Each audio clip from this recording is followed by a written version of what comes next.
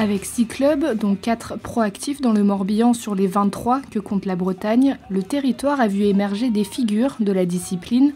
Nicolas, 30 ans, a fini quatrième au championnat du monde en 2010, catégorie cruiser. Depuis, je fais beaucoup moins d'entraînement, j'ai beaucoup moins de temps euh, pour m'entraîner, donc maintenant c'est devenu un plaisir plus qu'une compétition. Donc c'est vrai que j'entraîne des jeunes sur, euh, sur, le club de Lorient et euh, ça me permet de passer du temps avec eux aussi sur les courses et, leur dire ce qui va et ce qui va pas. Quoi.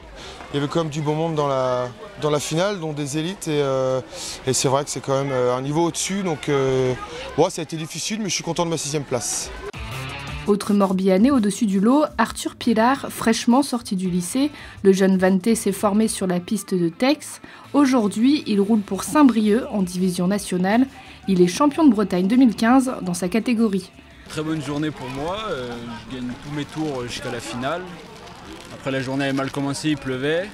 Ça s'est calmé en fin de journée, du coup c'est top, on a fait une finale au top avec un niveau assez relevé. Ça fait plaisir de retrouver un bon niveau en Bretagne. Sur le dernier championnat de Bretagne, le Morbihan a placé 5 pilotes sur les podiums.